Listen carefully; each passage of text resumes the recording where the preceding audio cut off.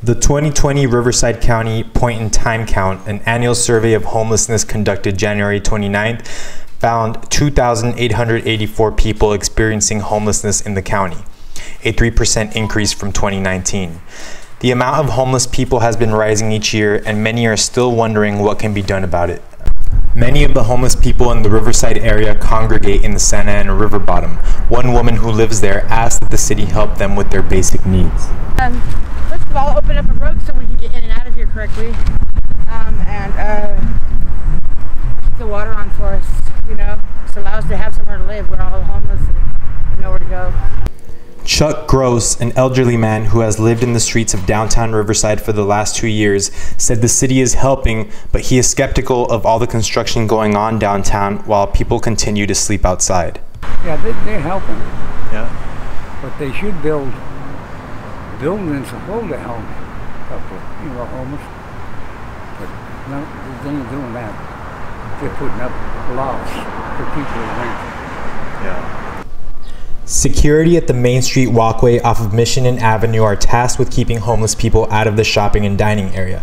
But the guards and shoppers agreed that housing and services and humane treatment should be the approach to tackling homelessness in Riverside. Every day, that's like all my job really is, pretty much. I have um, tell them they can't sit here, or they can't look through the trash cans, or stop asking people for money, and it's like, uh, if it wasn't for the homeless people, my job would be pretty easy, dude, but at the same time, it's not their fault either. It's, it's, uh, it's drug addiction, and people just don't have family or resources. A lot of people don't have families and stuff like that, but you have to deal with the homeless people all the time, brother.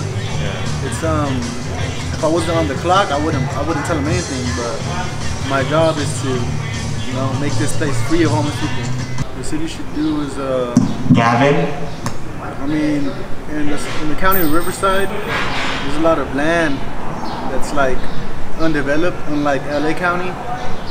I think maybe if if, uh, if the local people that actually are part of society um, have issues with the homeless people, maybe they can make like a like, like a lot or a field, a field that uh, like a piece of land that the homeless can go to and put up tents or uh, little makeshift shelters, and that that is illegal. That no one will, no one will, um, so they can get out of the city and out of the, out of sight, out of mind type of thing. You know what I mean? issue has gotten out of hand, I think the city should provide some sort of home where they can go and get treatment if they need it.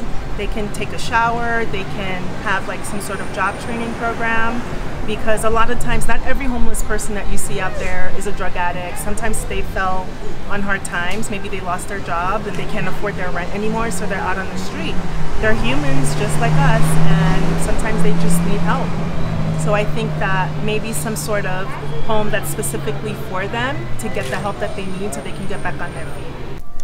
Riverside has developed its own Skid Row area on the 1900 block of Massachusetts Avenue between Chicago and Kansas Avenues. The street is full of tents on both sides and resembles the homelessness crisis of downtown Los Angeles.